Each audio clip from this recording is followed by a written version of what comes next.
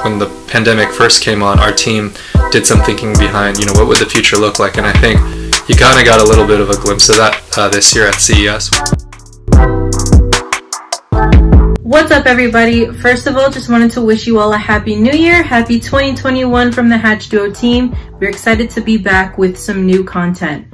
Like last year, we're going to be kicking off the year by going to CES. Obviously, because of the pandemic, CES is going all digital for the first time this year. So rather than vlogging the entire trip, we're just going to be doing a little Hatch Duo wrap up and talk about some of the innovations in tech that we saw at CES this year.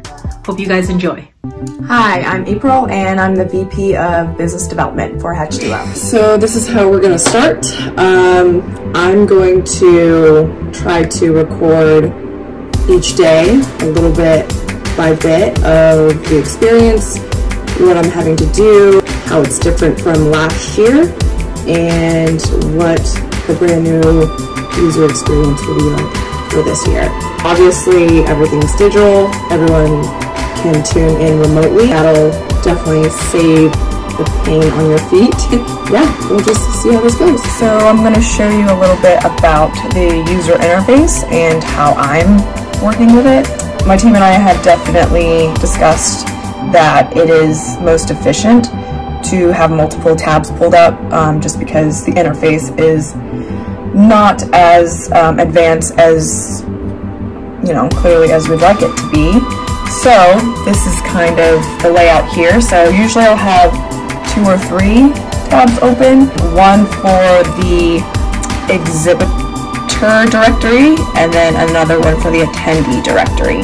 So they're two different directories, but anytime you do click on a contact, it loses your spot in, in where you originally were working. So um, you're kind of having to start over as far as the navigation of it.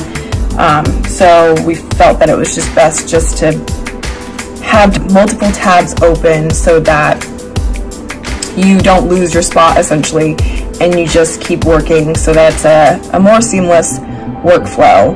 But yeah, once you get the hang of it, it's, it's pretty simple. Day two of um, CES 2021. Today is the first day where the exhibitor showcase and pages have opened up. So I'm getting ready to tackle it as best as I can, one by one, and kind of figure out how this goes.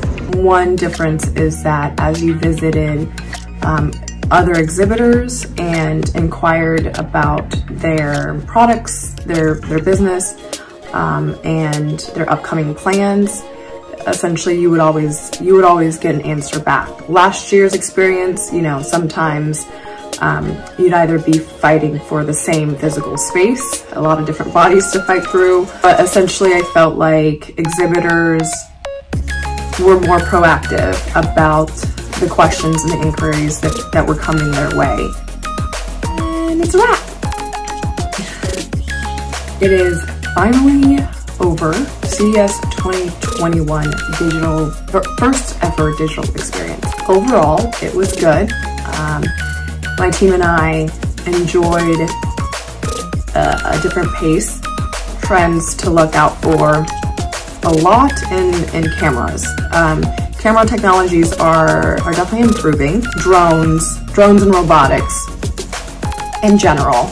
Uh, the way that we're going to deliver products and services will be incorporated and integrated through robot products and, and drones. Um, we kind of have been seeing that, but I think we're going to be seeing it a lot more and more. A lot of smart, sustainable home products and even new ways of designing homes. Um, and that kind of ties back into new smart cars that are also coming out. AI, um, Mark Cuban, I think said it really well in his pre-session um, that kicked off for CES. He mentioned that, you know, as a business, if you haven't done so already, you really need to understand the fundamentals of AI or else likely you'll get left behind. And um, I, I, really do believe that too. I personally noticed a lot of medical devices in the medtech space um, evolving, integrating the, the newest technology, really focusing on making it uh, not only user friendly, but um, you know, incorporating, wanting to incorporate design for future usability. So yeah, we'll we'll see and see you next year for 2022 CES. Bye. Hey everyone, this is Jon from Hatch Duo. Yeah, in terms of this year, I think it was very interesting that CES was all completely digital for the very first time. You know, I think it was great, first of all, that they, they did that. There are some some things, uh, some trade-offs that happen uh, in a digital setting that you're not able to fully experience, like when you're actually, you know, physically there.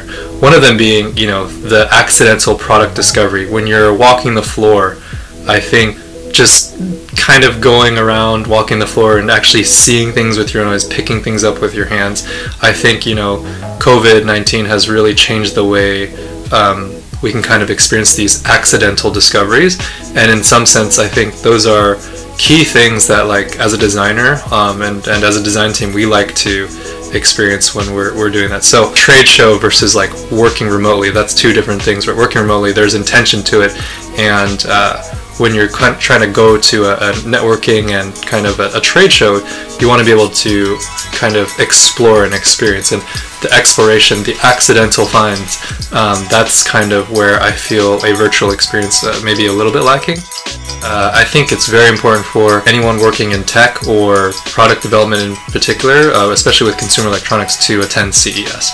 And why I feel it's important, particularly for design firms, is so that you can kind of stay in the know about trends, innovations, uh, emerging technologies, things of that nature that may help with your product team to develop and innovate um, with the projects you may be working on or may be working on in the future. Also, I think it's very important to get a scope of the competitive landscape to see, you know, what are what are both companies, both large and small, put, placing their bets into? You know, where are emerging market opportunities in the consumer electronics space? And so that's why I think it's particularly very important for companies to be attending. For me, CES can can be a, a complete overwhelm if you're not careful. And uh, for the most part, you do see a lot of the same things year after year. The large companies doing screen solutions, whether it's like rolling screens, curved screens, things of that nature. Um, but if you can kind of look past all of that and, and start to dig a little bit deeper and seeing what people you know in the product space are paying attention to you might get some insights. And what i found was a lot of companies were seeing covid-19 and the future of health and wellness as a space of opportunity. So we're seeing companies like Razer, which is traditionally like a gaming company, um, all of a sudden, you know, proposing a concept for a you know RGB mask, right, like a, a respirator mask.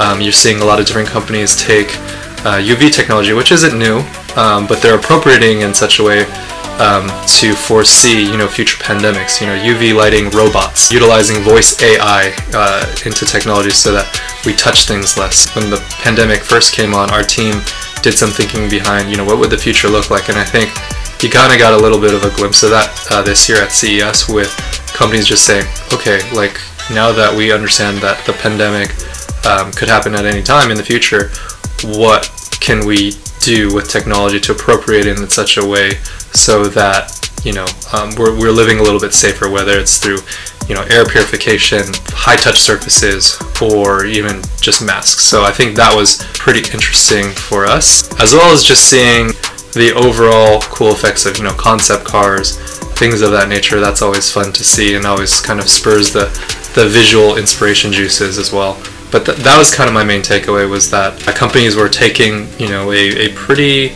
challenging time that we're living in and, and seeing it as an opportunity to innovate. As the rest of the team mentioned there was a lot of innovations in ai specifically medical tech this year and i'm just curious what are you guys most excited for in the upcoming years? Let us know in the comments below. As always if you enjoyed this video be sure to subscribe to our channel and turn notifications on for alerts on our next video. See you guys later